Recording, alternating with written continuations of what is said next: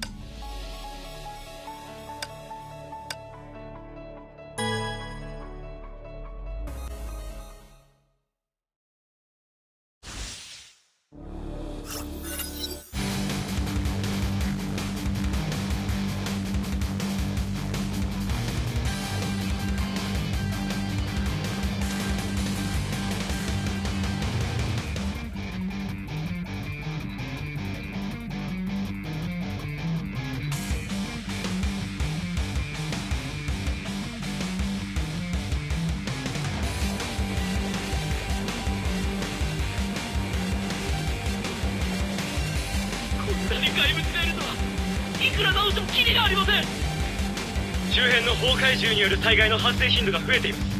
今天球士は完全警戒態勢に入り全ての機構が都市周辺の防衛線に派遣されています。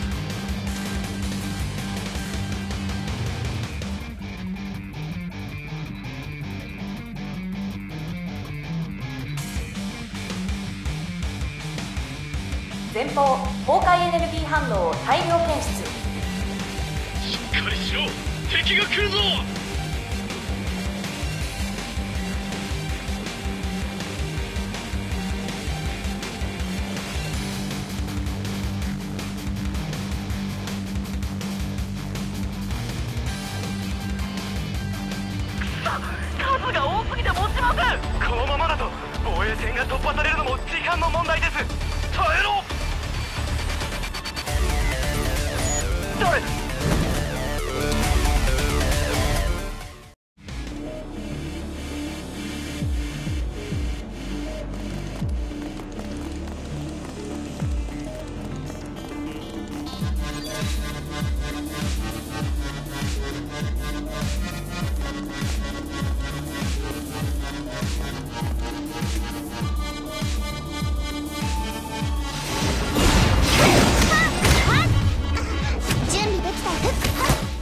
球のリズムに注意して私が教えた通りに戦うんだ。キアナ後ろ。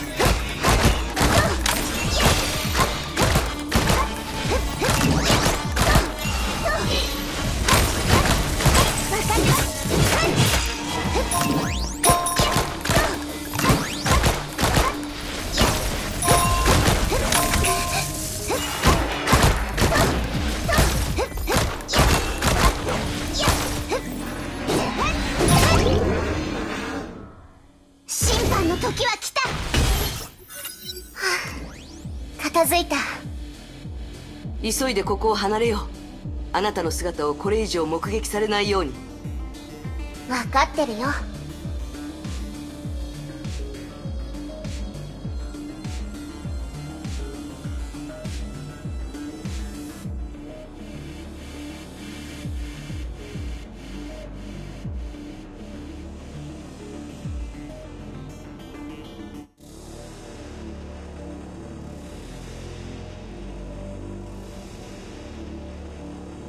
イヘビの情報によると彼女はずっと研究士にとどまっている。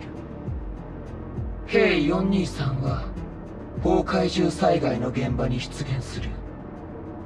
実験に影響を与えかねないか心配だ。確かに面倒だ。しかし彼女に気を配る暇はない。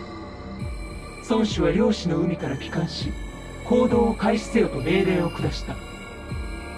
今優先させるべきことは天命の邪魔者を排除することだ。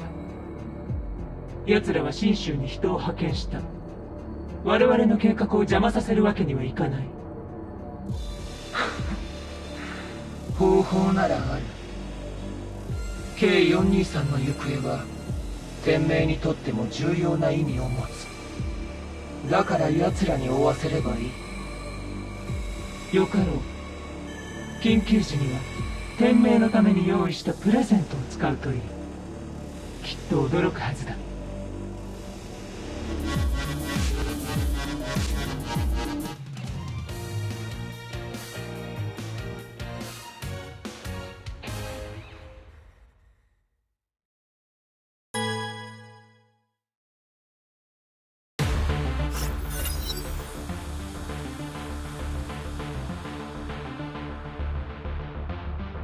大主教様。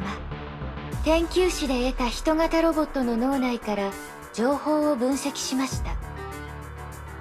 K423 の詳細な足取りを推測するには不十分ですが分析結果によると彼女は都市内にとどまっていると考えられます。この情報は同時に K423 が現在ヨルムンガンドの監視下にいることをも意味します。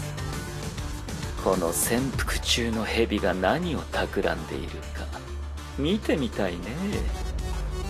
リタ君には天球師に戻ってもらいたい。K423 の行方を追い捕獲してくれ。今の状況ですと藪をつついて蛇を出すことになるのではないかと心配です。それは心配ない。ビジネスということにしておくよ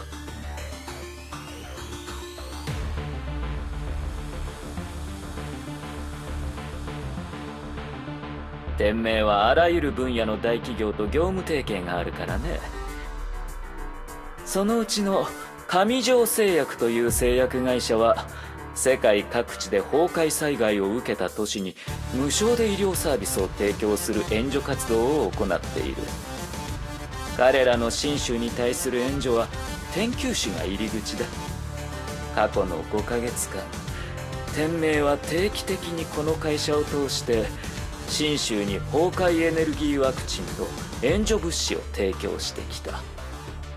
今回は君が代表として新しい薬品を天球師に輸送するんだ。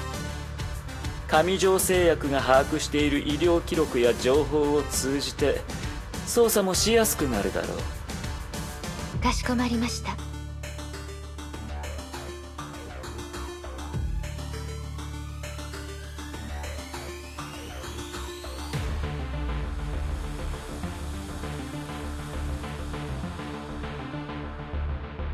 自動運行機能停止。エオス号は着陸モードに入ります。副隊長上条製薬の担当より通信が入っております。隊員たちは戦場で待機していてください。引き渡しと視察が完了しましたら帰還します。承知しました。工業地帯へようこそ。リータさん。上条製薬信州支部の顧問を務めるキオラだ今回は私が共に視察することになった。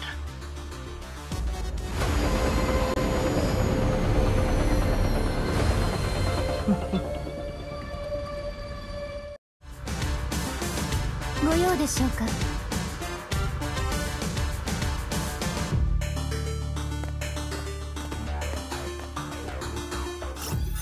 ここ一帯は本当に壮観ですね。引き渡しの合間にここの案内をよろしくお願いいたします。ああもちろん。さあこっちだ。第二次崩壊が終了した後上条製近隣からの薬品の輸送を可能にする。工業エリアは天球市の郊外にあるが休息が一番ですよ。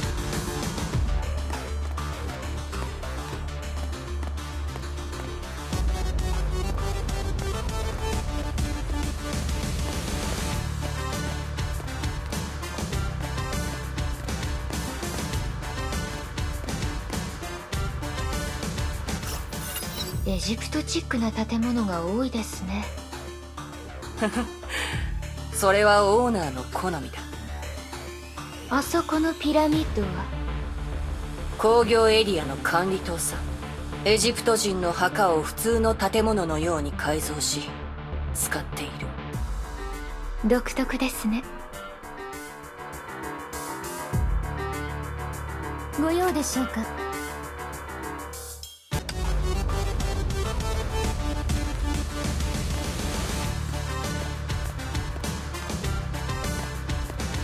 安心ください。ここで作った薬品は天球師の他に。御社は偉大なる事業を成し遂げたのです。天命が薬品の材料を提供してくれたお前たちがいなければ。ここのすいません。よ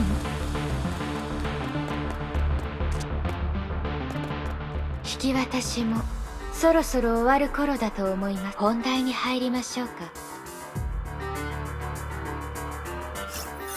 この度信州に訪れたのは御社の協力を得るためです。御社はこの都市の医療システムと密接な関係があります。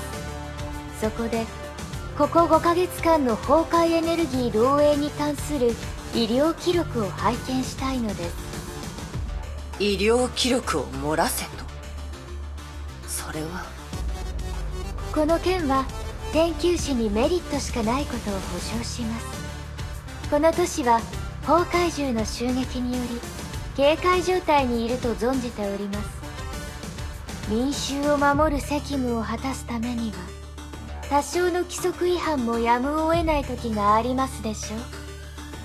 それに災害の根源を調べることによって未然に防ぐことができるのでしたら命を救うことにつながるのではありませんか？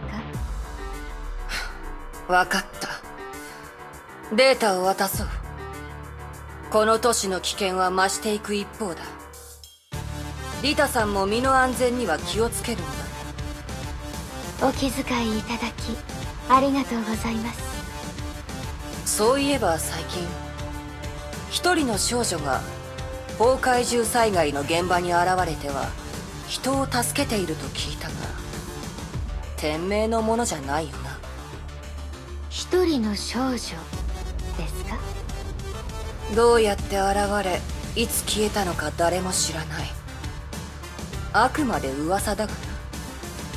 困難に直面した時自らの力に頼るよりも助けてくれるヒーローが現れるのを夢見るのが人間というものだそのようなヒーローが本当に存在すると私も信じたいものです。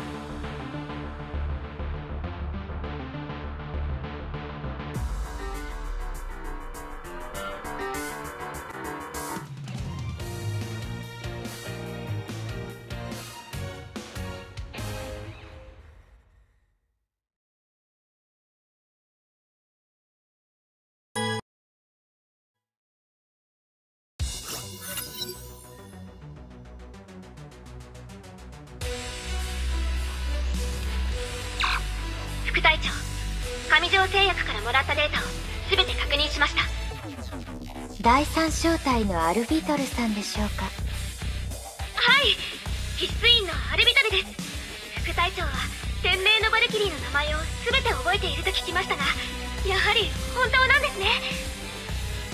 副隊長と一緒に戦えるチャンスはめったにないとみんなが言っていました。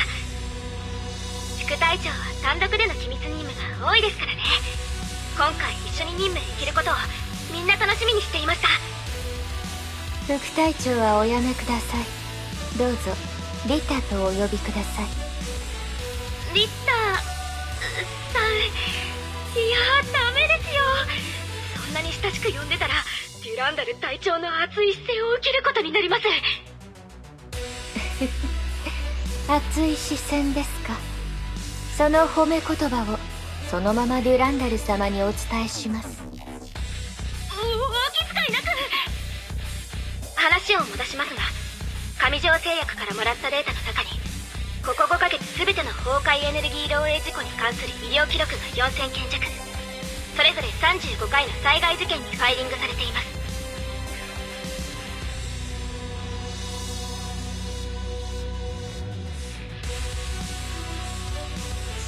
相当の数ですね。その中に K423 に関する手がかりはありませんか？2ヶ月前の記録ですが南部地域のあるインターチェンジで崩壊獣が大量に出現しました。ある被害者が崩壊獣と戦う少女を見たそうです。診断の結果は心的外傷後ストレス障害となっていますがそれは幻覚ではなく紛れもない目撃情報だと思います。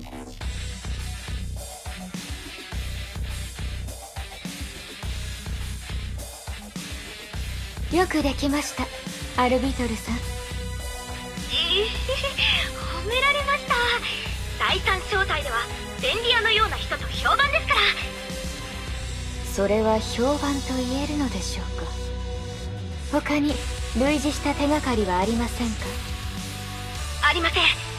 K423 の特徴を入れて検索をかけてみましたが何も得られませんでした。つまり彼女は病院のような場所には出現していません。医療記録も買い物をした記録もなく監視カメラシステムも彼女の姿を捕捉できてません。彼女は隠れ身の術でも使えるのでしょうか？監視カメラを避け一般人に変装することはできます。ただ彼女がまだこの都市にいる限り誰にも目撃されないということはありえません。彼女の存在を認知し彼女の姿を捉える者は必ずいます。アルビトルさんがピックアップした記録がそれを証明しています。しかしそういう細かい情報をインターネットのあちこちから全て集めることとなると数ヶ月はかかるかもしれません。アルビトルさんご存知でしょうか？この都市には情報闇市がありどんな情報もそこから入手できると聞きます。手がかりはそこで探しましょう。招かれざるお客様ですね。ここがハイヘビの縄張りでしょう防御機構がまだ自動運転しているのです。これは。お掃除しないといけません。今回は騒動にならないといいです今こそ風を起こす時です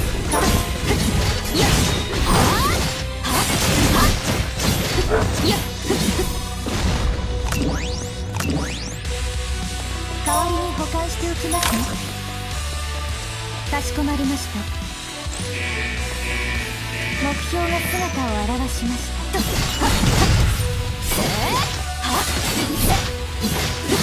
こそ風を起こす時ですやっやっやっ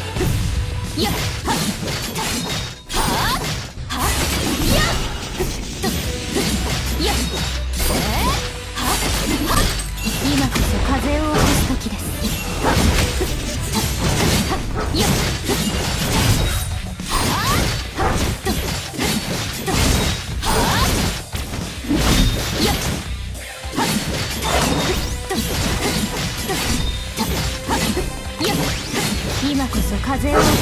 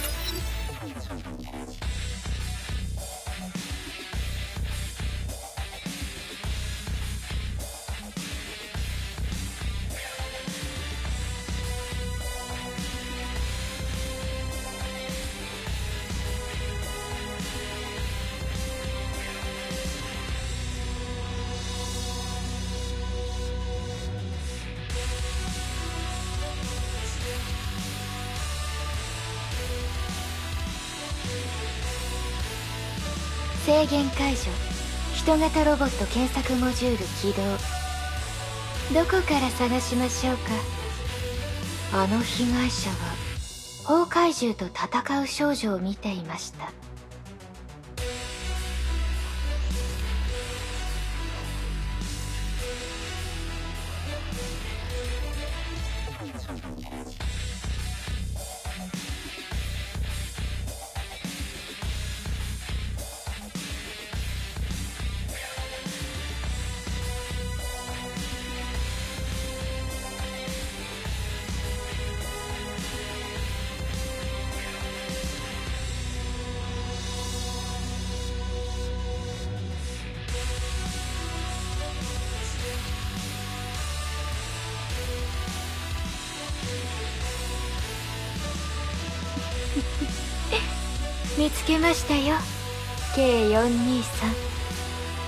アルビトルさんこの2ヶ月間で天球市には崩壊獣災害が頻繁に発生したと言いましたね。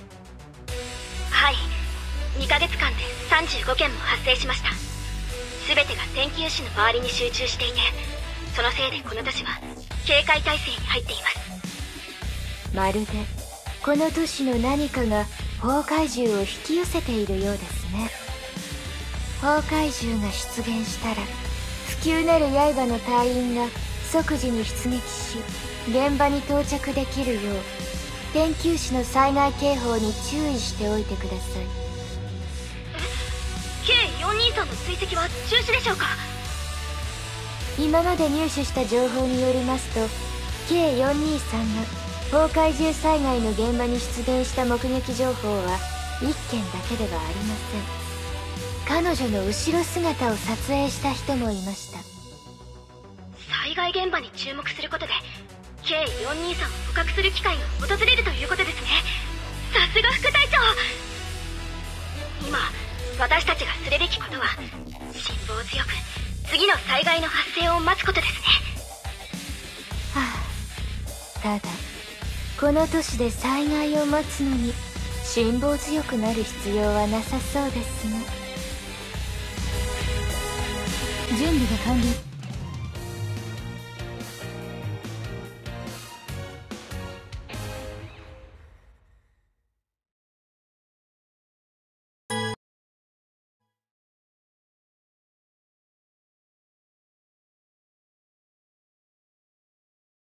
疲れを取るなら休息が一番ですよ。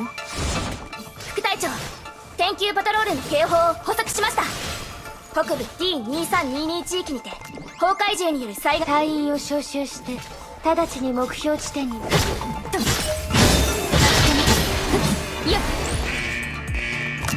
目標が総員警戒してください。災害現場に到着した後直ちに邪魔してくる崩壊獣だけ倒してください。おめさみに表す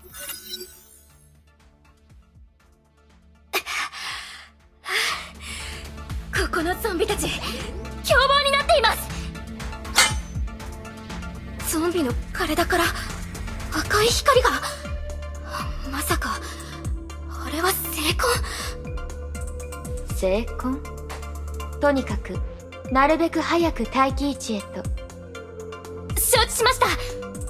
気のせいだったのかな？K423 の姿を捉えました。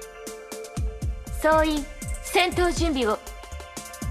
艦長様お茶などはいかがですか？前に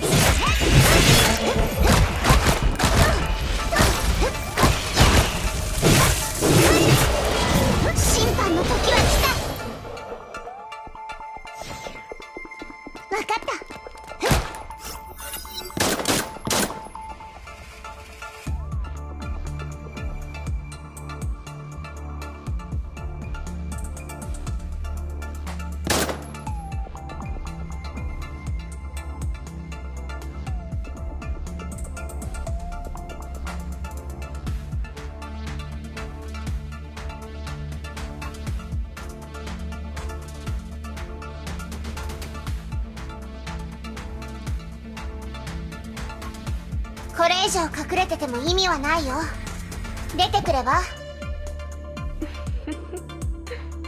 ご無沙汰しておりますキアナさん。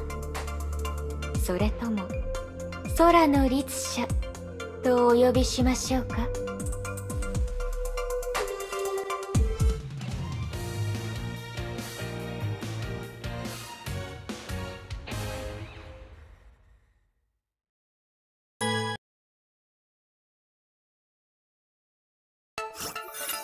リタ・ロスバイセあんたのことは覚えてるよ。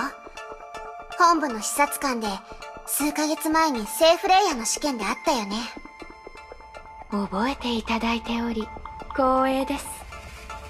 外での流浪の日々はきっと大変だったのでしょう。あなたを天命本部に連れ戻すよう大主教様からご命令をいただきました。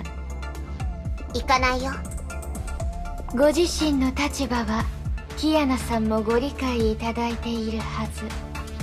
この都市がその証明です。キアナさんがここにいてばここが頻繁に崩壊獣の襲撃を受けることになります。唯一あなたを助けられるのは天命だけです。実験室に戻って治療を受けていただければその力のせいで傷つく人はいなくなります。皆様のためにもなります。何を言われたって答えは同じだよ。わがままですね。分かった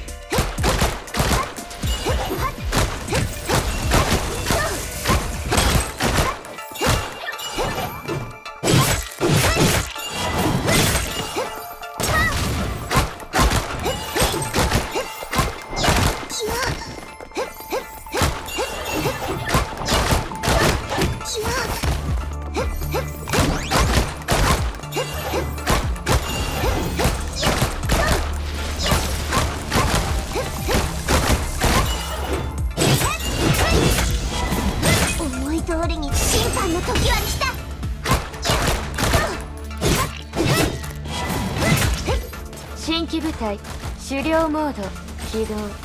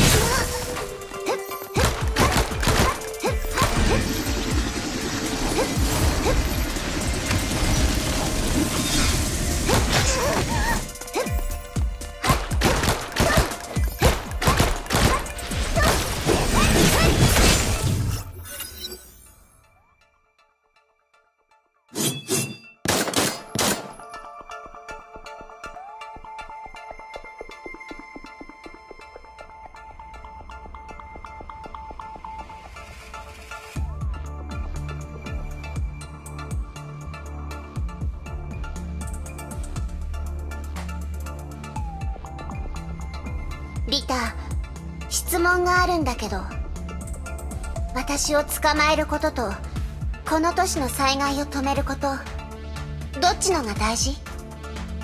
あなたを捕まえることはこの都市の災害を止めることになります。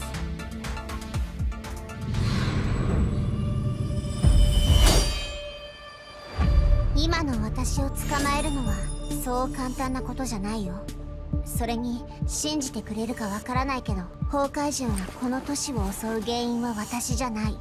その証拠があれば上条製薬が何をするつもりかその目で確認できるはず。それと私はここを出ない。私にとって災害を止めることは逃げることよりも重要なことだから。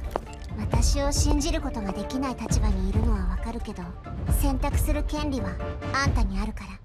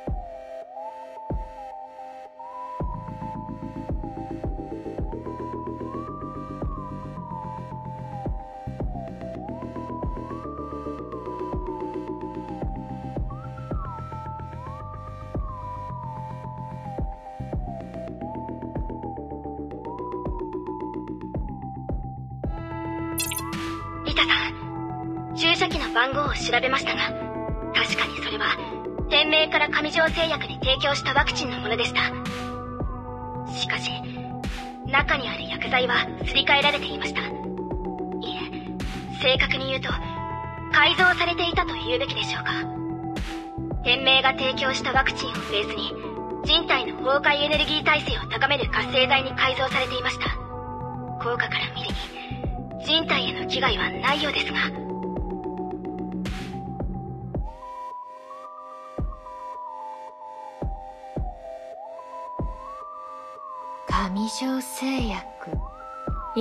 体何をするつもりでしょう？リタさん。あと一つ報告したい点があります。ヒョウの作戦中。ゾンビの体に光る模様が浮かんでいたんです。今思い返してみるとあの光る模様はおそらく聖魂だったんじゃないかと。聖魂？アルビトルさん自分が何を言っているのか分かっています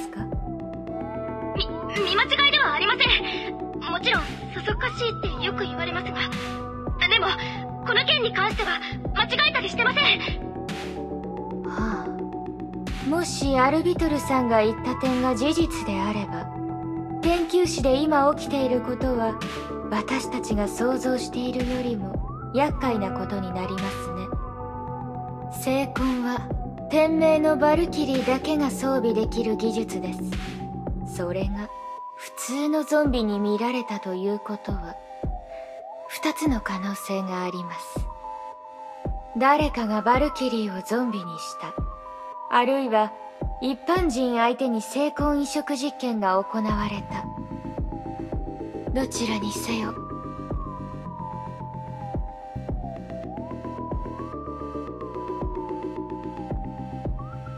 今夜はおそらく休めませんね。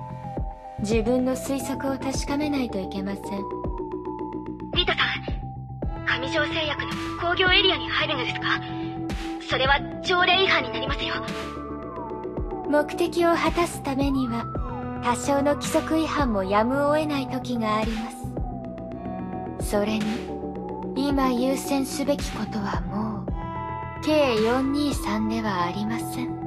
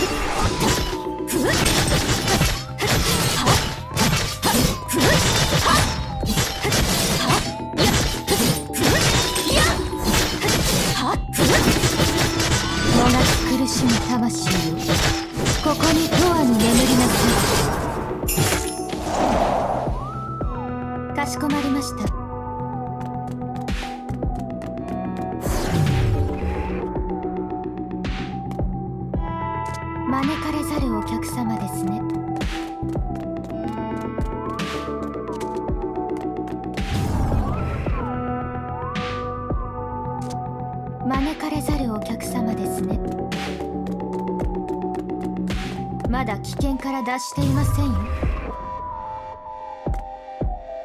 ご安心ください。艦長様は私がお守りします。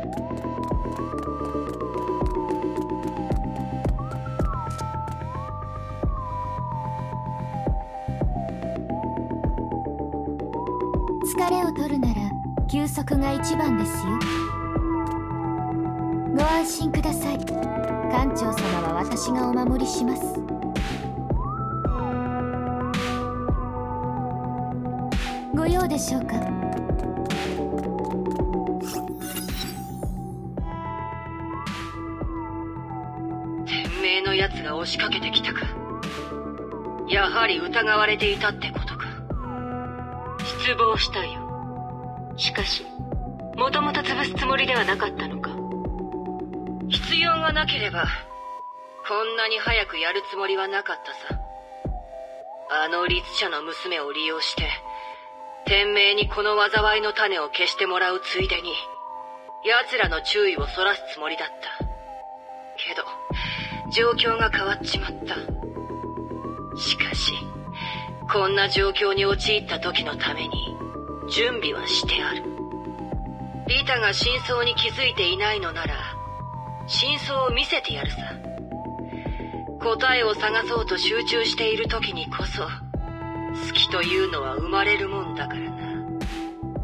そのタイミングで私が用意したプレゼントを使うことだ。その効果は絶大だろう。天命のバルキリーがもがく声。痛みを耐え抜く力が一般人とどう違うのか。ぜひとも間近で観察してみたい。できれば殺さずに研究対象として私に引き渡してくれ。いざ行動するって時に頭は実験のことばかりか。天命本体が到着する前に必要なデータを揃えないといけないんだぞ。安心しろ。任務が終了したらあんたには新しい戸籍が与えられる。それで遠いところへと逃げればいい。天命はあんたを探し出せないだろう。それでこの都市の人たちは価値のない物事に同情するな。あんたの同情は人類に与えるべきだ。天命には強い力があるが個人的な利益を求めて人類を愚弄してきた存在だ。そして彼らに守られていれば世界は安全だと人々は信じ込んでしまった。天命が存在する限り人類は飼いならされた子羊のようにただ庇護を求め続ける。時代はもう違う。孫子はすでに帰ってきた。彼は天命が世界にもたらした概念を一掃してくださる。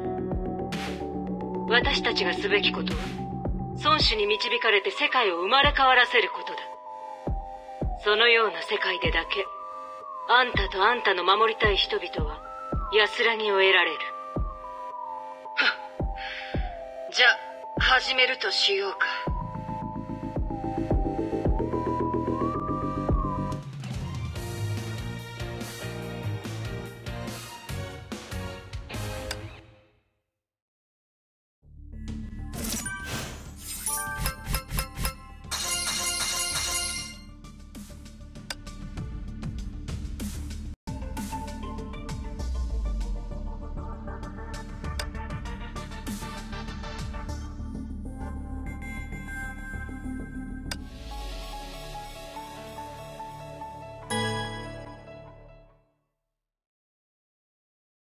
招かれざるお客様ですね。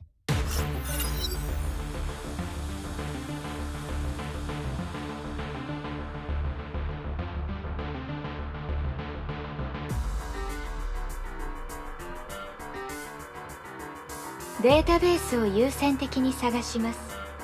そうすれば疑問の答えも得られるでしょう。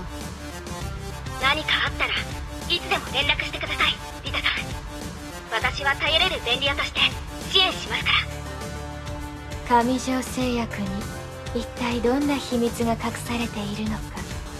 見てみましょう。館長様お茶などはいかがですか？まだ危険から脱していませんよ。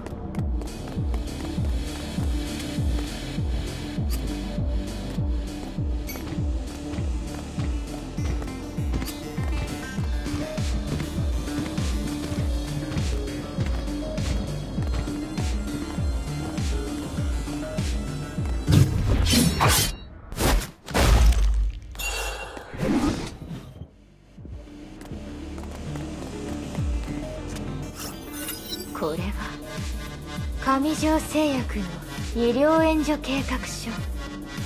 第二次崩壊が発生してからこの企業は崩壊の被害を受けた全世界の都市に援助を始めました。第三次崩壊後は極東と新州への支援をするまで拡大されています。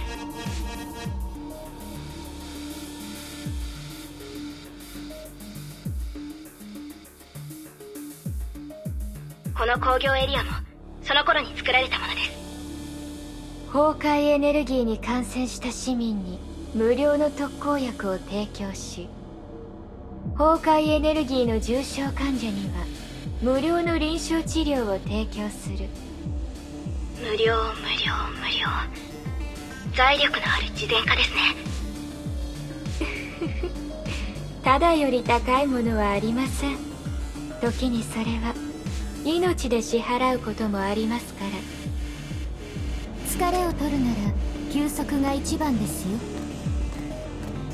まだ危険から脱していませんよ。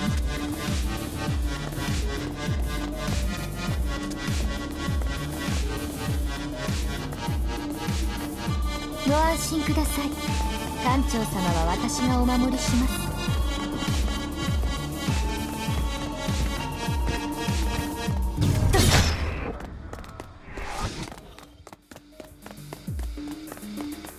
かしこまりました。ご安心ください。館長様は私がお守りします。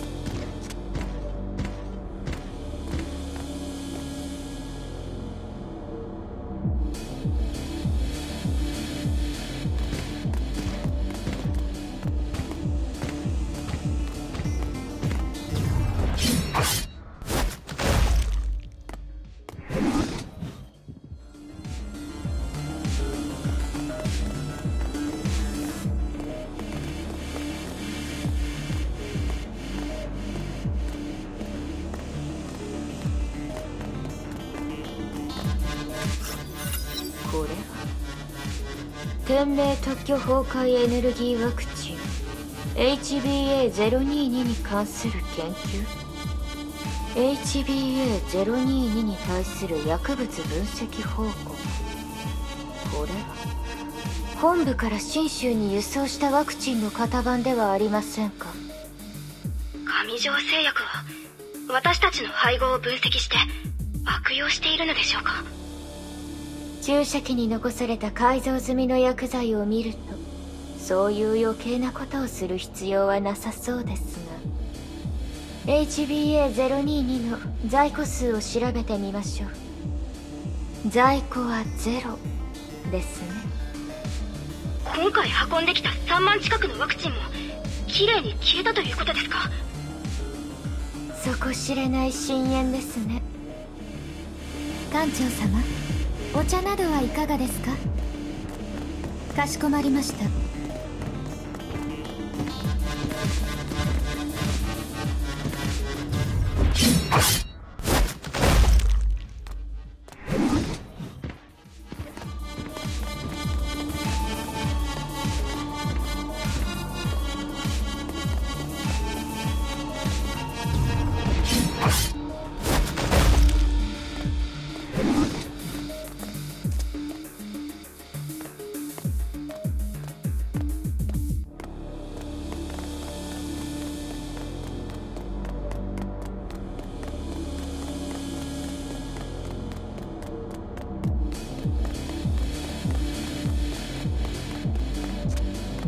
危険から脱していませんよ。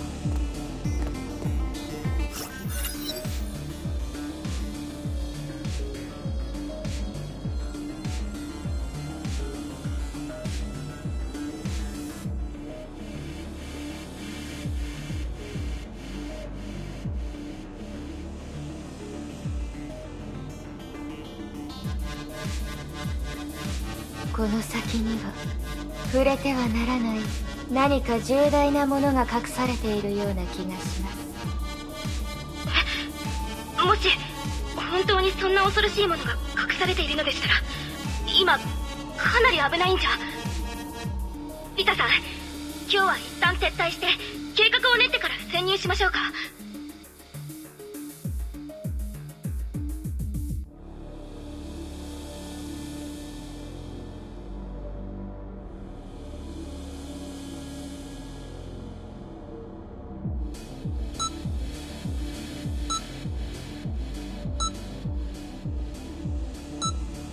情報をつかめる機会はずっとあるわけではありません。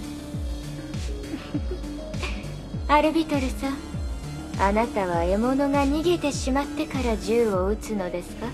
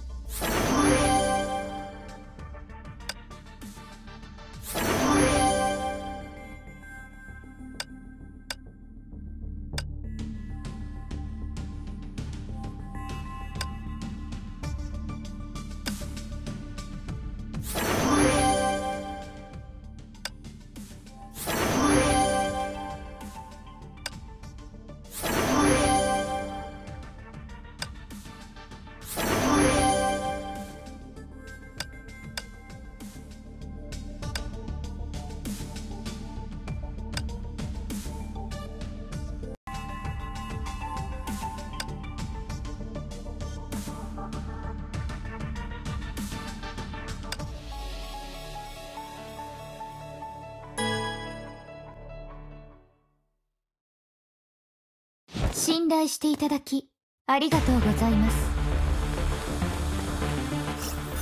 ここの構造図には地下層が表記されていませんがレーダーは地下の深いところで崩壊エネルギー反応を補足しています。アルビトルさん私のいる座標へといつでも支援に駆けつけられるよう不朽なる刃の隊員に待機命令を伝えてください。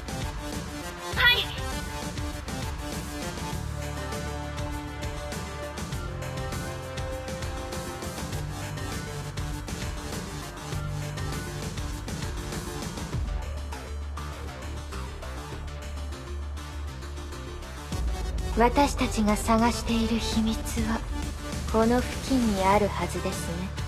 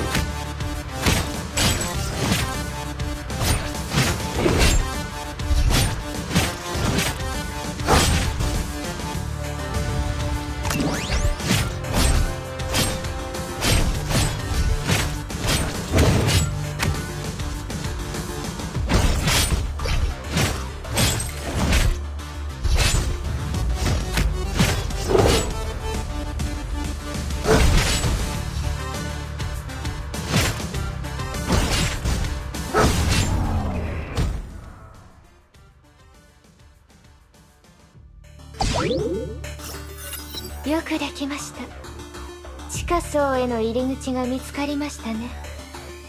かわいいワンちゃん。私のために道を開けてください。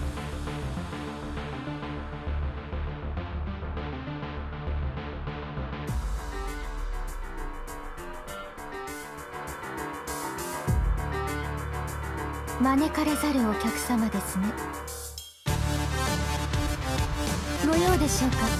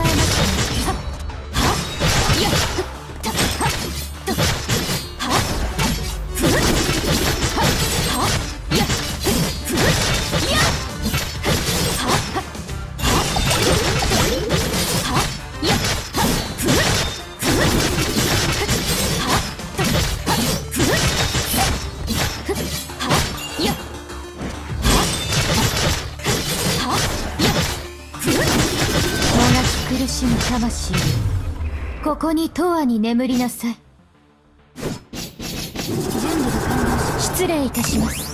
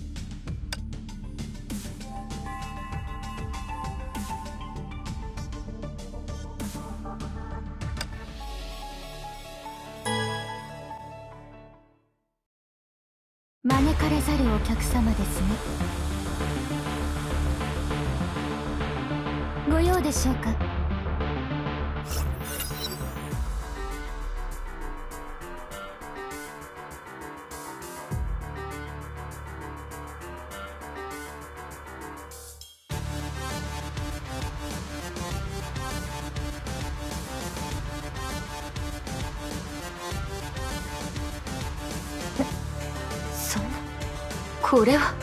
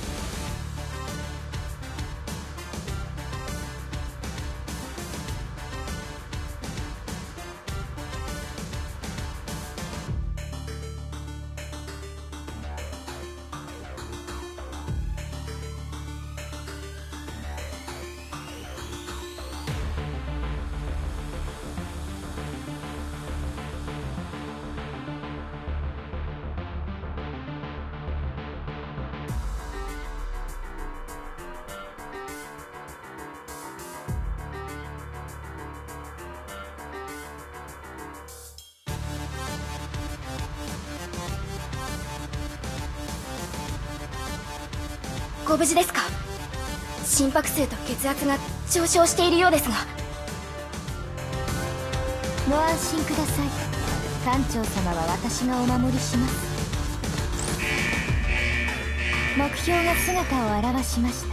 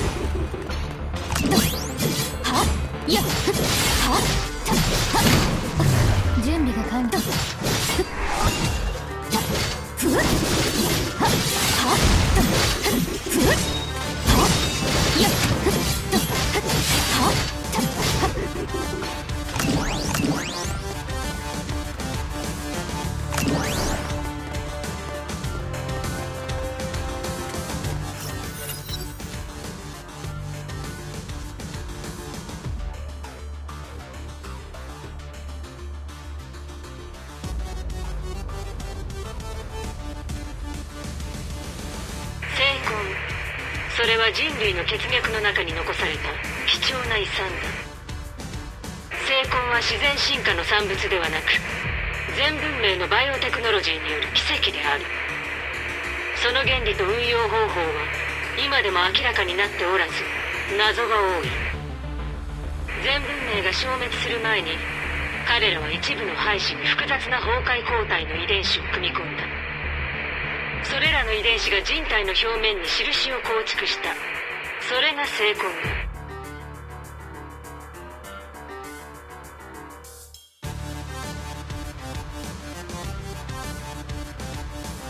成功を持つ人類はより強い崩壊エネルギー体制と支配力を身に宿し様々な不思議な力を行使することを可能にした。しかし残念なことに遺伝子の変異と交配を重ねることにより完全だった成婚遺伝子は不完全なものとなる。パズルが一度かき乱されてしまえば模様も本来の意味をなさなくなるように。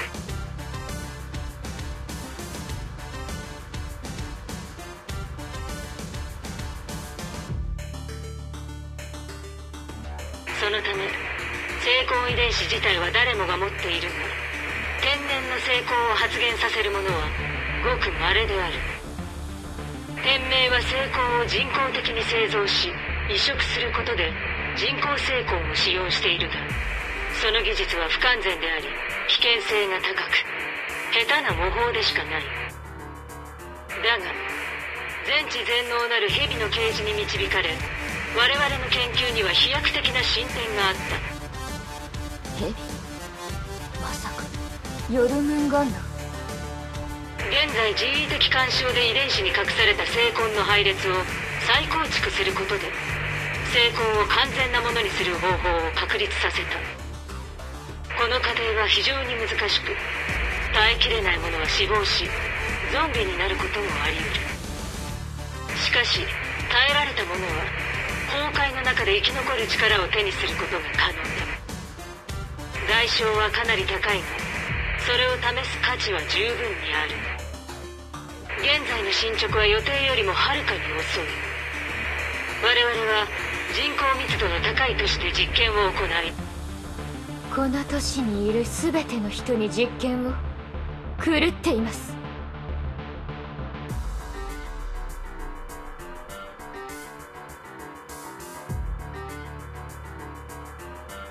私もたまにそう思うよ艦長様。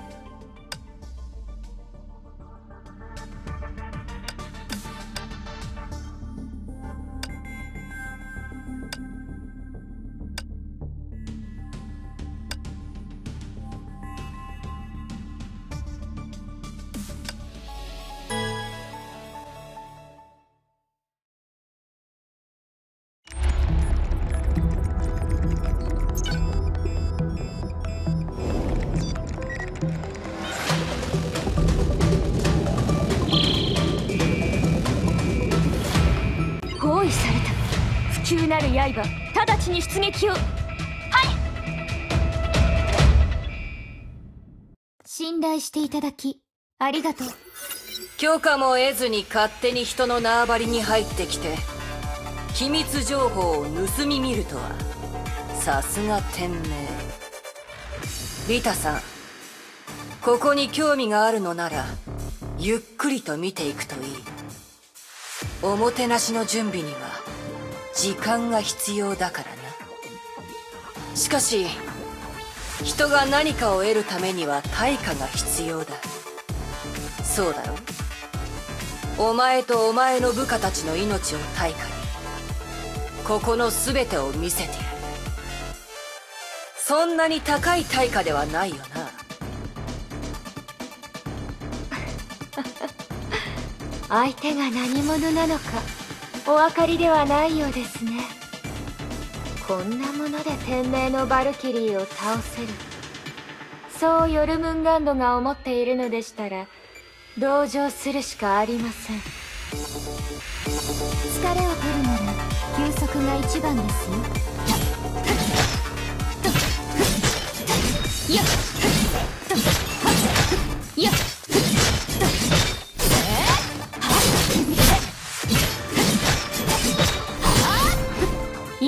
風を起こして。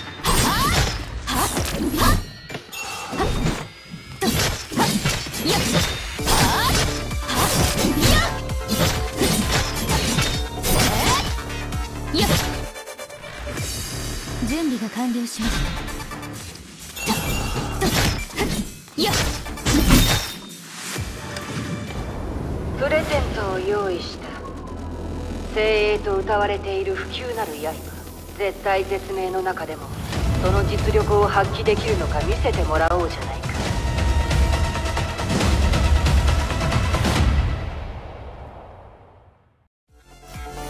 ゾンビも毒もそういった手段はあなたをより不憫に見せるだけですよ。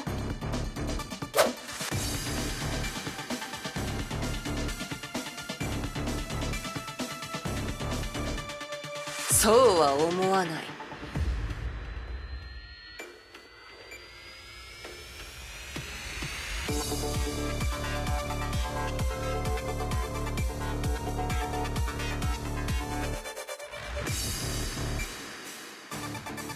これは催涙ガスなんかじゃない。HSNB46 結成だ。お前ならわかるだろ。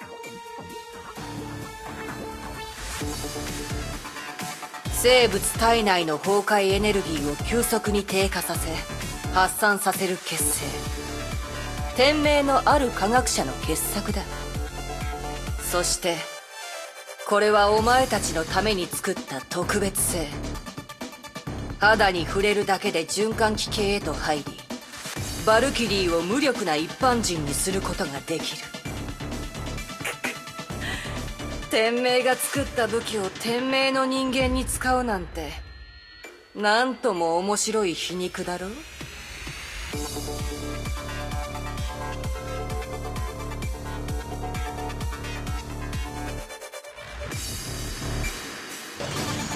疲れを取るならどうしたんだリタ？不朽なる刃の力を私に見せつけるんじゃないのか？さあ紹介しよう。バルキリー殺戮兵器。コードネーム。デスステッチャー。せいぜい楽しんでくれ。私の力を。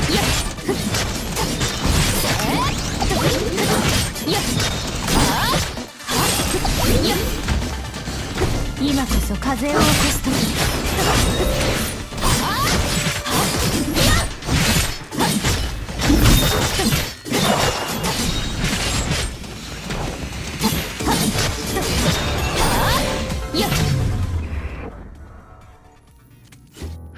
なる刃。随分と頑丈だな。仲間の心配をする必要はない。公平を期すために。全員に同じプレゼントを用意しているからな。仲間が殺されたのにまだ笑えるのか。冷酷なやつだ。あなたが天命の手に落ちた時あなたをどう処罰するか考えていたのです できもしないことを語るやつが私は嫌いなんだよ。やれ。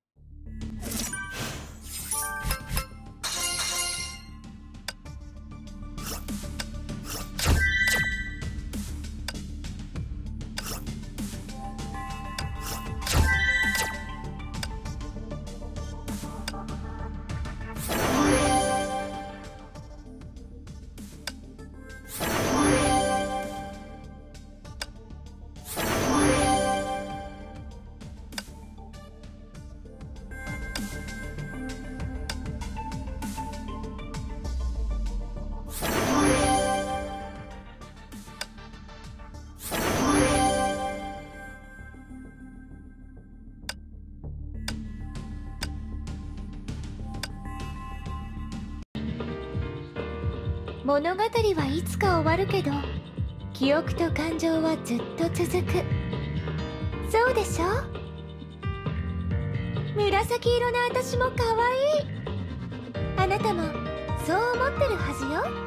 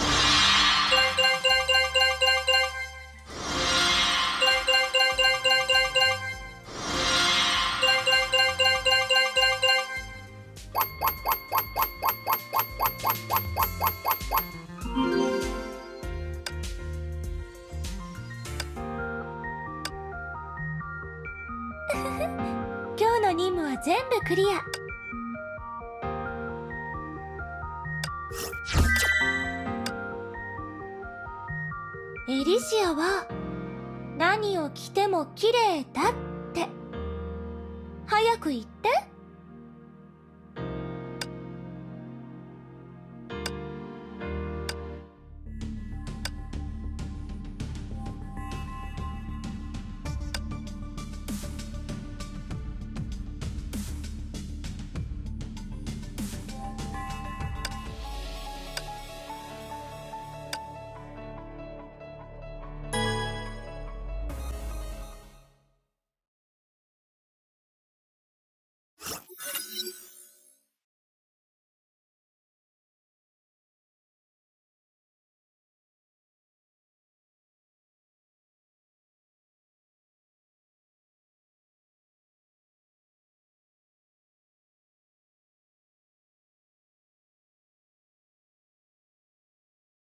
ところでキアナ、いつから天球師の災害に裏があると気づいたの？ゾンビを片付けているとき、その中に知っている顔があったの。そのゾンビは、1ヶ月前に私が助けた女の人だった。彼女を見つけたとき、すごくショックで。委員長、覚えてる？天球師の崩壊獣災害は、私の中の彼女が再び目覚める兆しなんじゃないかって、私聞いたよね。ええ。その時あなたとは関係がないと私は言った。あなたの状況を私はずっと見てきたから。うん。もし私の中の律者人格が崩壊獣を呼び寄せたのなら、私の周りに現れるはずだって教えてくれたんだよね。その言葉で今回の糸口を掴んだの。崩壊獣とゾンビは崩壊エネルギーの高い場所に集まるから。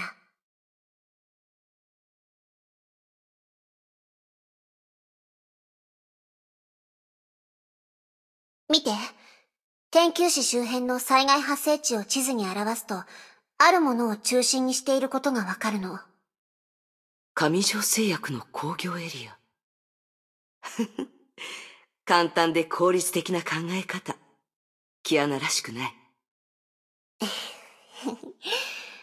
流浪生活唯一のメリットは、怠惰でいられないところだね。こういう生活は初めてじゃないし。あなたの推測が正しければ、あの巨大な工業エリアには、今回の災害の秘密が隠されている。しかし残念ながら、まだ決定的な証拠は手に入れていない。だから、天命がこの件を調べるよう、天命を巻き込もうって委員長が提案してくれたんだよね。私たちよりも天命はこの件に注目しているはずだからね。一応、ここ一帯の援助計画には天命も参加している。あの男は、誰かが自分の名を語って騒動を起こすことを許さない。私は、天命を信用できない。リタがどう出るかも想像できない。私たちが差し出した情報をもとに、捜査を始めてくれるのか、それとも、無視して私を捕まえようとするのか。でも、リタの選択がどうであれ、私はこの件を最後まで追うよ。これは試練なの。彼女に対するものであって、私に対するものでもあるから。よし。キアナ、そろそろ状況を確認しよう。予想通り、バルキリーたちが行動を開始している。じゃあ、次は私たちの番だね。眠い。ここで少し寝てもいい？ロックトローデット。分かった分かった。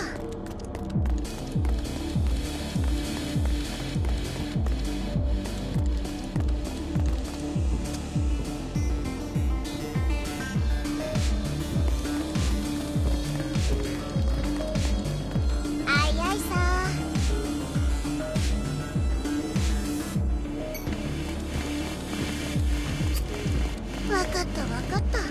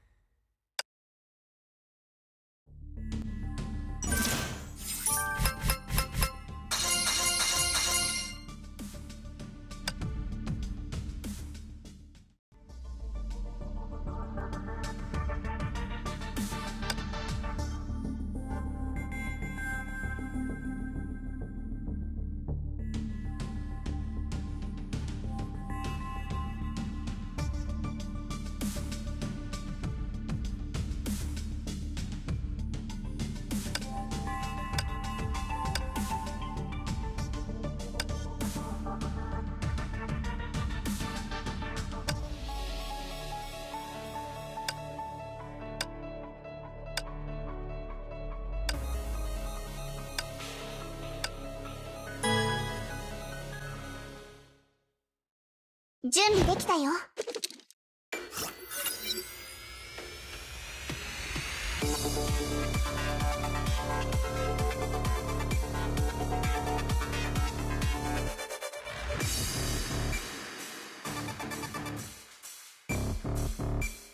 どういうこと？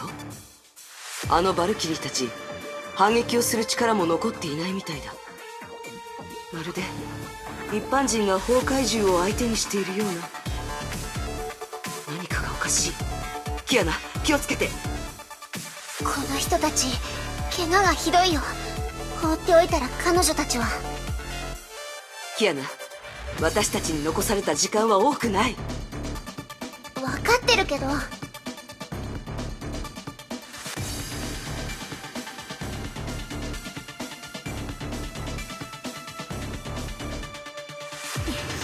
楽勝だよ。前に進む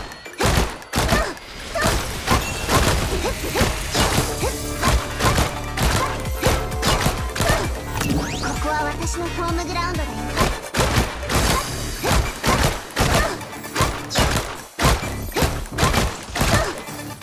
かすり傷だよこの力で誰かを聞く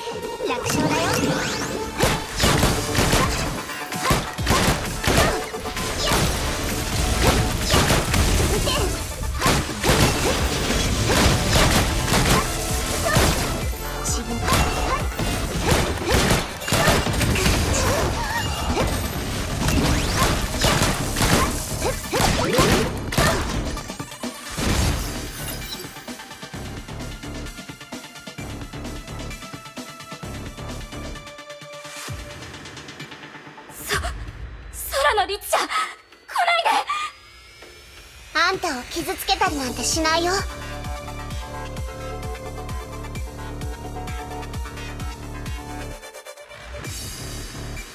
本当に。よかった。ここで何があったの？あんたの怪我はまだそんなにひどくないみたいだけど他のバルキリーたちは一方的に殺されてるよね。原因は何？奴らは卑劣だ。催涙ガスを使って。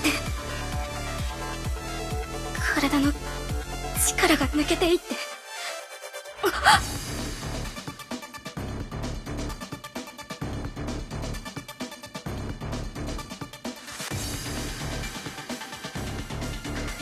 分かった。それ以上喋らないで。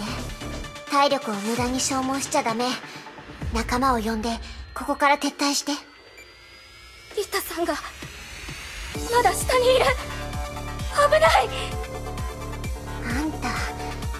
まずは自分の命を考えなさいよ。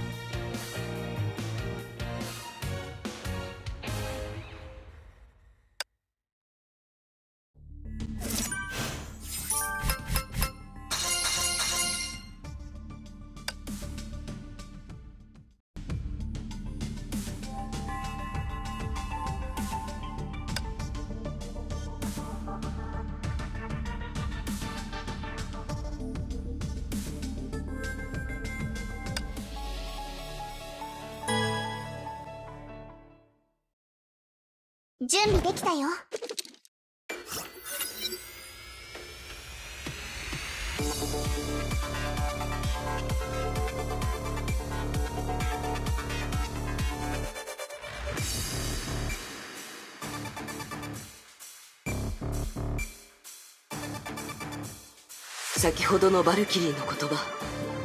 リタさんがまだ下にいる。というのはおそらくここのことだろう。どうやら近いみたいだね。下から崩壊エネルギー反応を感じるよ。リタはまだ下で戦ってるのかな。キアナ時間がない。リタさんを助けるかここの秘密を暴くか決めるんだ。ぼーっとしてる場合じゃないのに分かった。前に進もう。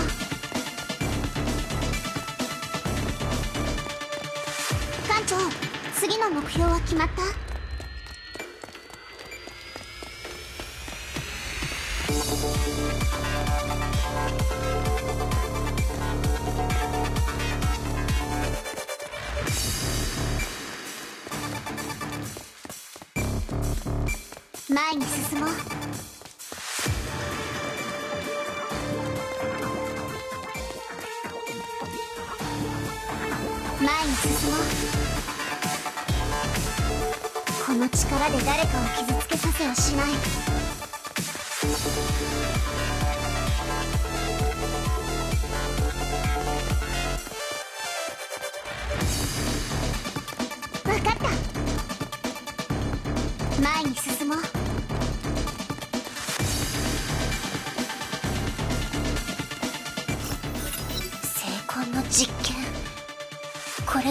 ンビたちに成功がある原因。彼らはこの都市の人々に実験を施し崩壊に抵抗できる人間を選別するつもりなんだろう。オットーよりも狂ってる。書類に全文明期限のことがはっきりと書かれている。上条製薬が抱えている秘密は私が考えていたよりもずっと深いようだ。全知全能な蛇。蛇男がまだ生きている。ありえない。ぼーっとしてる場合じゃないのに。この力で誰かを傷つけさせはしない。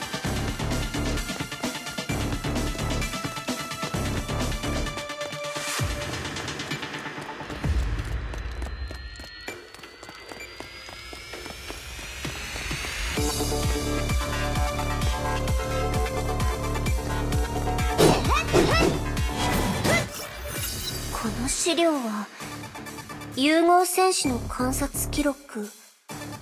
融合戦士って？1475年精鋭千人破人図委員長この精鋭千人って委員長に似てるね。1887年ロンド城コナン・ドイル医師との写真？待ってこの写真の人って？キアナ見間違いじゃない。それは私に関する記録だよこの資料には私が行った場所してきたことが記録されている。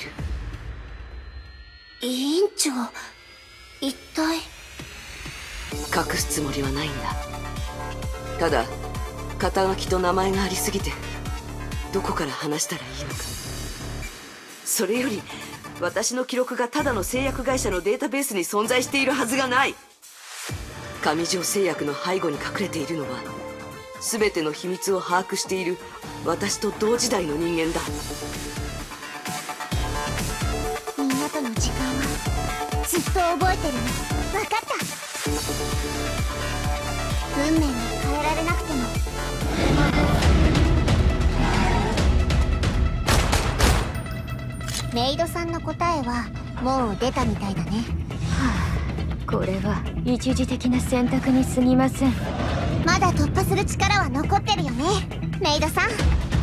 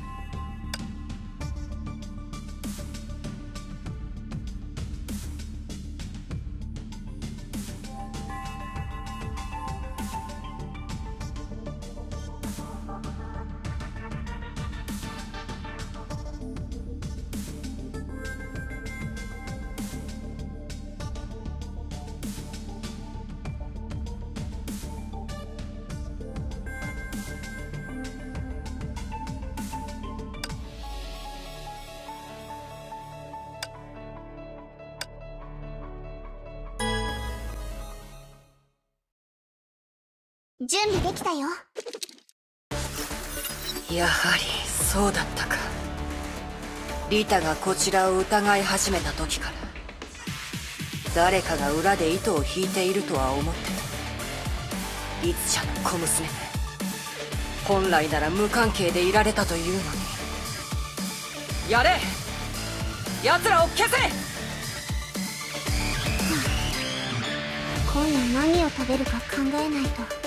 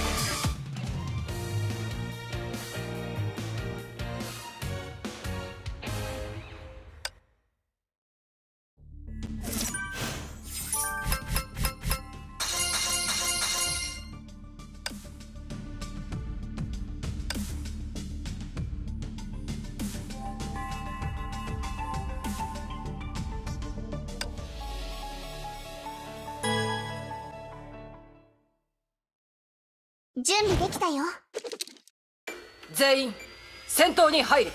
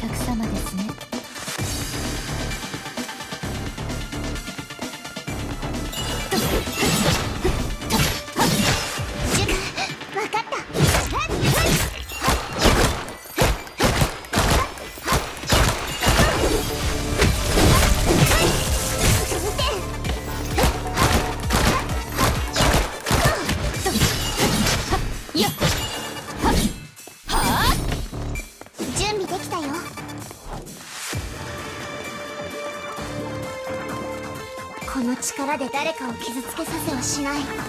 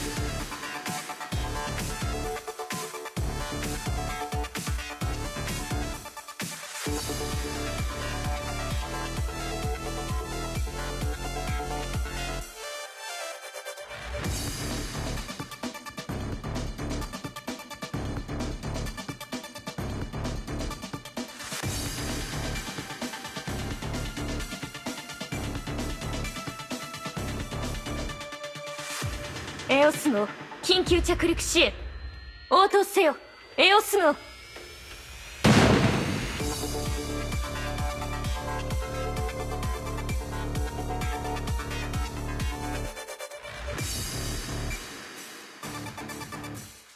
早くまだ私が相手できるうちに早く入って。ごめんなさいキアナさん最後に処理しなければいけないことができてしまいました。メイドの本職はお掃除ですからね。エオス号自動操縦機能起動。行動コード掃除。目標は現在座標1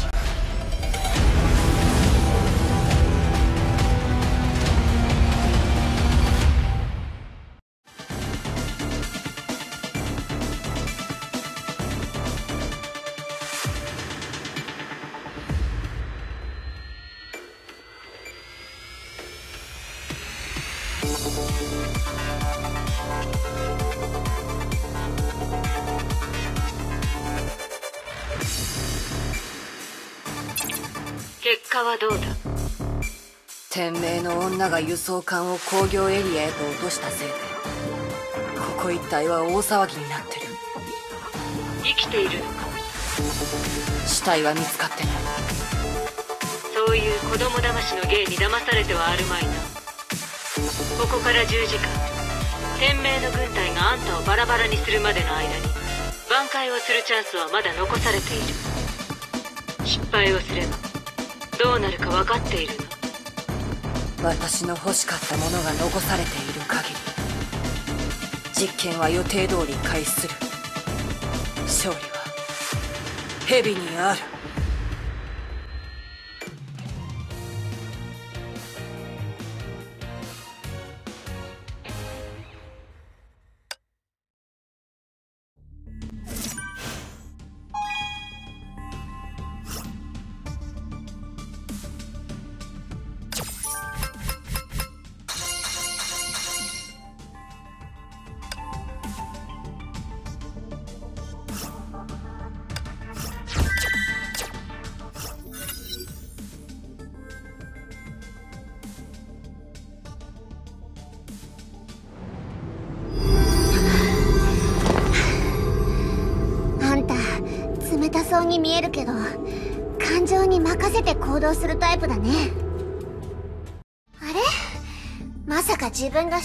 せいで死傷者が出たからって思い詰めてないよね。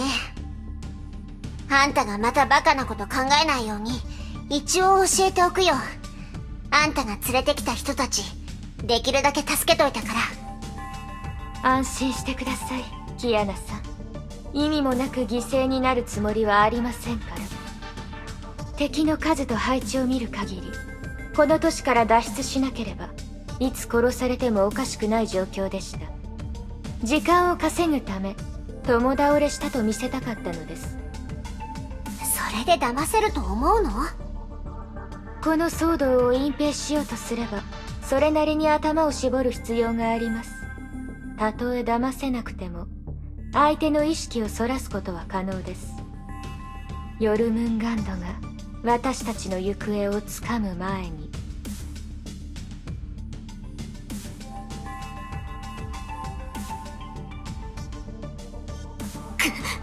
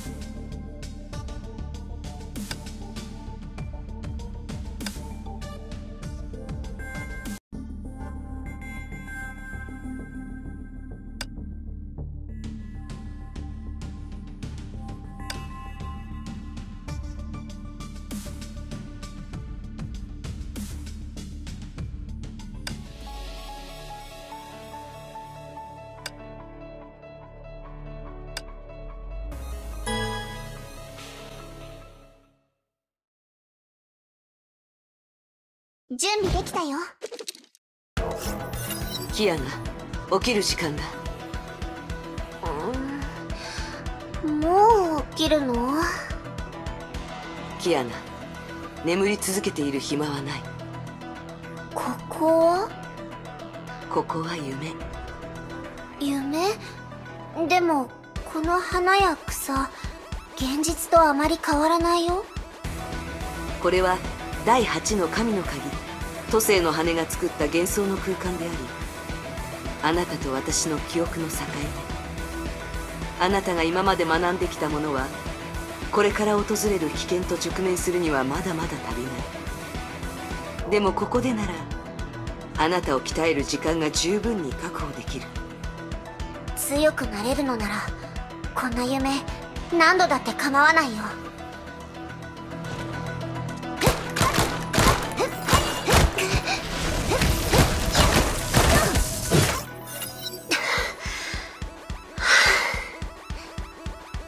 夜が明けるまではまだまだ時間がある。ゆっくりと鍛錬しよう。待って。もう一日中戦ってる気がするんだけど。どういうこと？これじゃ体が持たないよ。夢の中の時間の流れは現実世界とは全く違う。一生分の長い夢を見たと思ったら目覚めてみるとほんのわずかな時間だったりね。なんか聞いたことある。一睡のなんだっけ？一睡の夢だよ。信州の武学には座棒震災という名の技術があるんだ。瞑想状態に入り昼に学んだことを思い出しながら鍛錬する。委員長が今私にしてる特訓みたいな感じ？命は短い。最上の武技というのは休んでいる合間も鍛錬に勤しむことができる。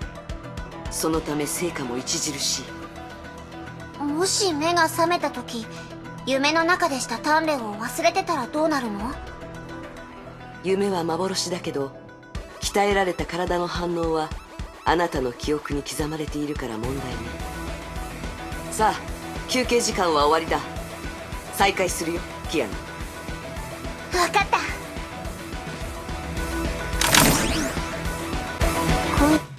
一回勝利しただけだよ。これから先道はまだまだ長いんだから。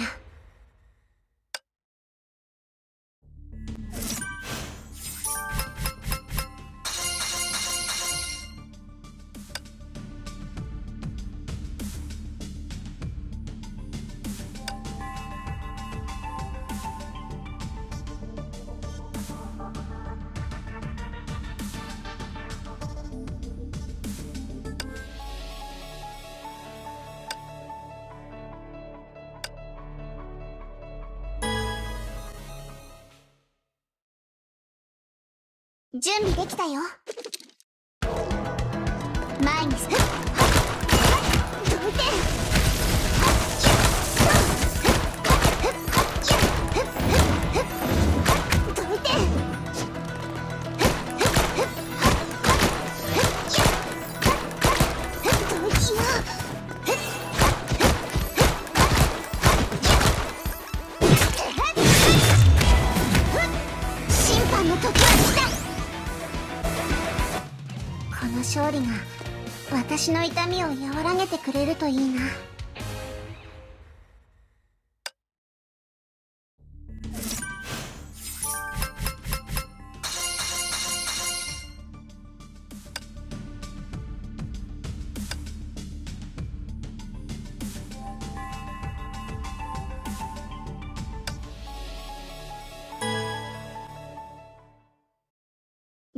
きたよ。今日も寝れないことは分かってたよ。今日は現像物が練習相手だ。現像というのは意識が作り出す幻覚のこと。夢の中で起こる全てが幻でも人は無意識に痛みや恐怖を感じまるで肉体が本当に危機に直面しているかのように感じる。切迫した状況下に置かれると人は想像を絶するような力を発揮できる。その力は普段体の奥に眠っていて自由に使うことができない。そのため強者たちは危険へと挑み続け日々の戦闘で使えるよう潜在能力を開花させようとする。しかしそういった鍛錬はめったにできない。だから今日は都政の羽でふさわしい相手を召喚する。聖フレイヤ学園の記憶訓練システムとあまり変わらないね。いやちょっと違うよ。意識の鍵である都政の羽は作り出した全ての真偽の隔たりをなくす。攻撃の強さ与えるダメージ。細かなそれらを全てあなたの脳は真実だと思い込む。それって。もし意識の中で自分が死んだと思ってしまえば現実世界の体はただの呼吸する死体となる。鍛錬の効果を上げるため手は貸さないから。キアナ必ず全力を出すように。分かった。手は抜かないよ。分かった。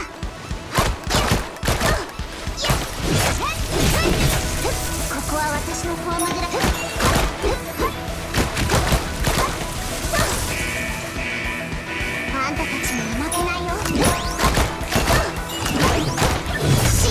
時は来た。カバンにしまったよ一回勝利しただけだよ。これから先道はまだまだ長いんだから。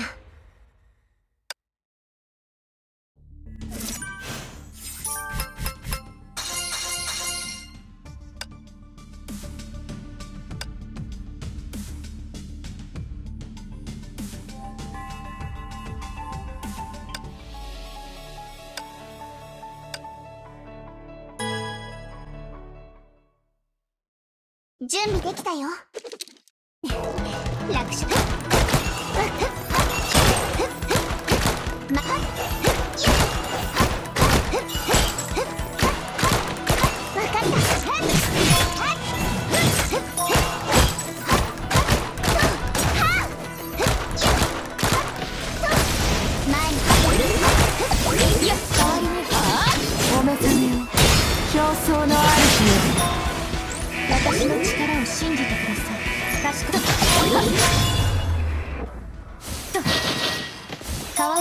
断しておきますね。任務完了。お待たせいたしました。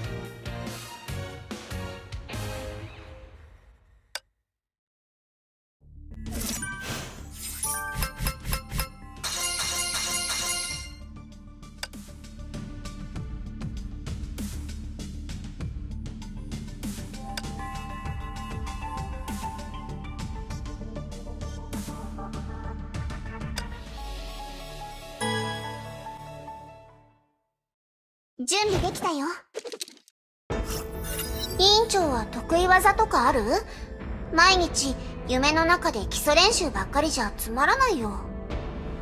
そんなのより一撃必殺みたいな技があった方がいろいろ便利じゃない？過去に武芸を人に教えてから随分と経ったというのに自分にこんな機会が再び訪れるなんて思いもしなかった。え何？本当に必殺技を教えてくれるの？私が得得している武芸その名は退去剣気先人たちが作り上げた格闘技の精髄だ。退去剣気には五運がありそれぞれ心慶意根心となっている。心はキアナもわかると思う。学園で受けたバルキリー心理訓練。あれはオットーが改良をした献身のひな形だ。五運の中でも剣形と権威には特定した武器が必要だから難しいかもしれない。健康は試す価値があるがただ理解するには要求されるものが高い。それって私が学べるものはないってこと？待って今言った中で心運があったよね。それは？真なるもの変化の極みなり無権は有権にしかり真が剣と化し剣気となる。それが神運だよ。全然意味わからないけどなんかすごそう。それ教えてよ。献身の本質は崩壊エネルギーを形作り拡大させることにある。献身と剣形を学ぶことでより多くの崩壊エネルギーを操れるようになり最終的には献身の基本条件をクリアすることとなる。本来なら真と形の基礎ができていないと真運を学ぶことはできないがキアナなら試す価値があるかもしれない。あなたには律者の体質がある。律者は生まれつき大量の崩壊エネルギーを操れるから。ただまだ基礎が安定しない今献身を無理やり使えば害をなすことになる。だから私と一から順を追って学び献身を鍛えるしかない。時が来ればその使用方法を教えるよ。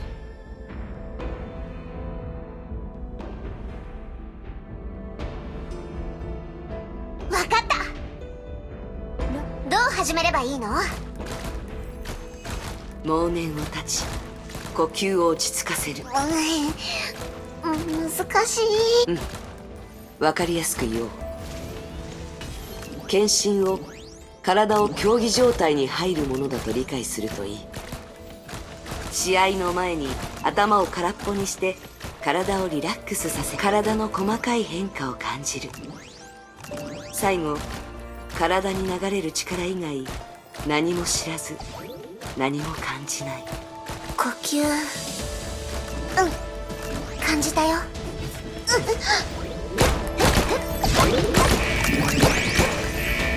元凶が心の波動を照らし始めた。キアナ止まって。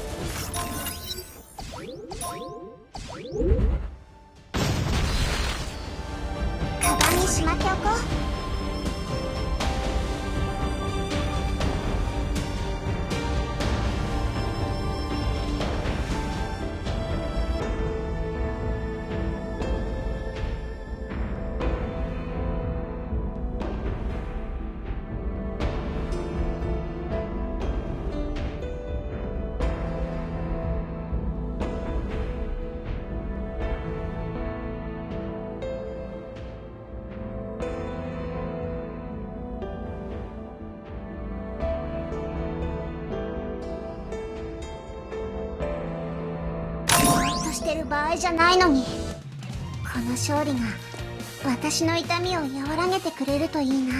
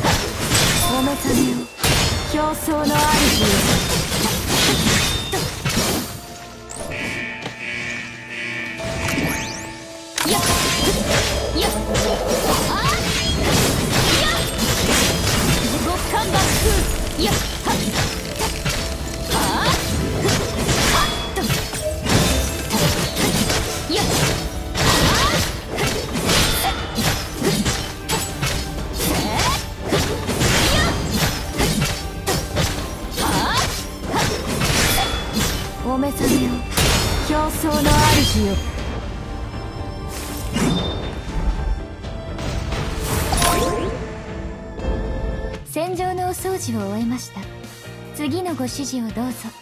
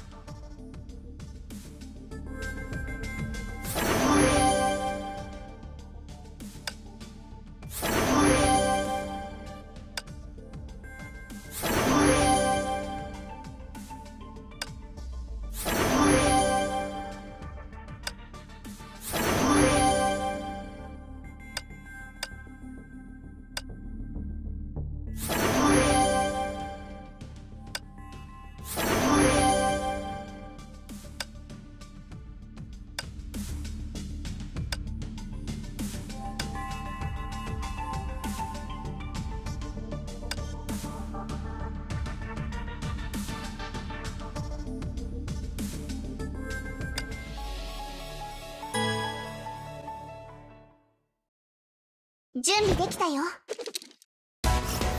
キアナ鍛錬を開始してから結構な時間が経ちました。少し慌ただしいけど時間は待ってくれない。そろそろ訓練の成果を見せてもらう。分かった。委員長よろしくね。いいえ。今回の相手は私ではなく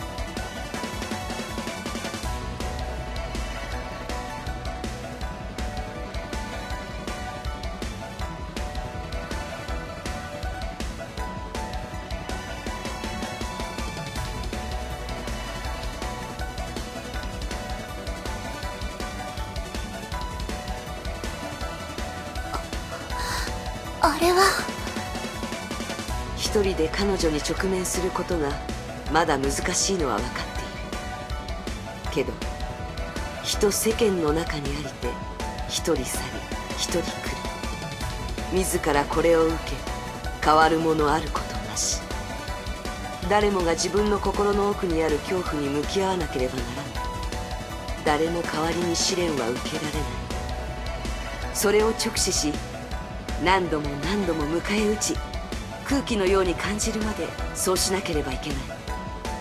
キアナ神の鍵の力には限界がある。私があなたのそばに永遠にいることはできない。未来の道はますます険しくなる予感がするから。私が消えるまでにあなたが険しき道を歩くことができるよう私はできるだけのことをする。それがあなたに対する約束であり姫子先生に対する約束でもある。うん。ちゃんと鍛錬するよ。ええ。では始めようか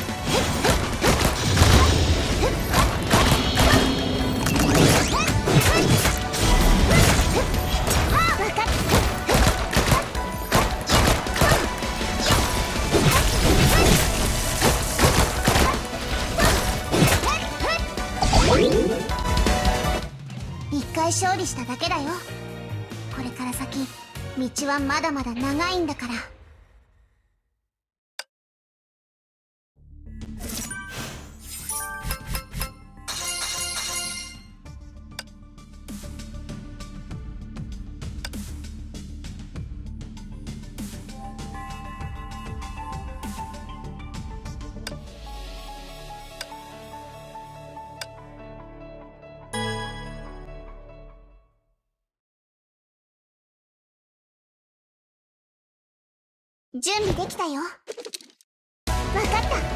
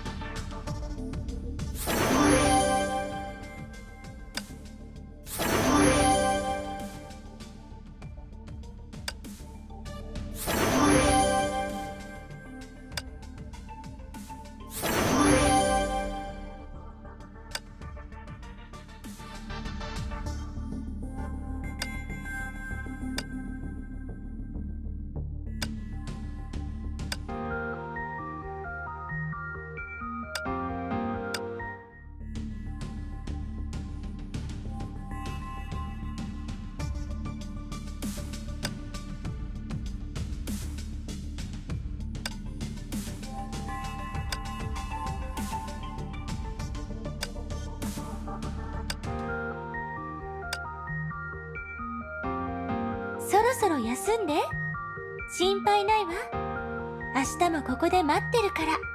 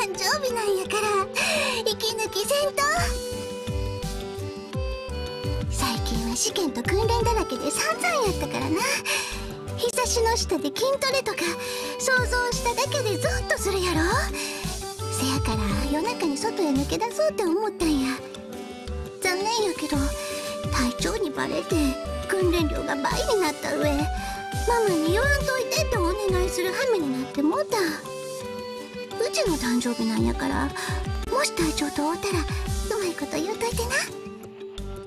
お礼に今度劇場版魔剣新規の映画代おごったる？めっちゃおもろいって聞いとるしきっとあんたも好きになるはずや。今日のうちちょっと違うてるから期待しといてな。純枕5号が化粧してくれたとかそんなんちゃうで。すぐ行くから待っててやキャロル。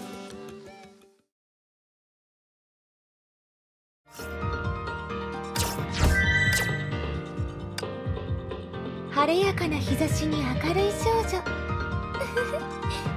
お似合いでしょ？